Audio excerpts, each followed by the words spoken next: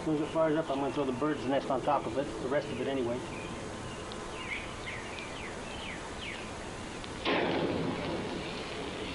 And we got us a fire.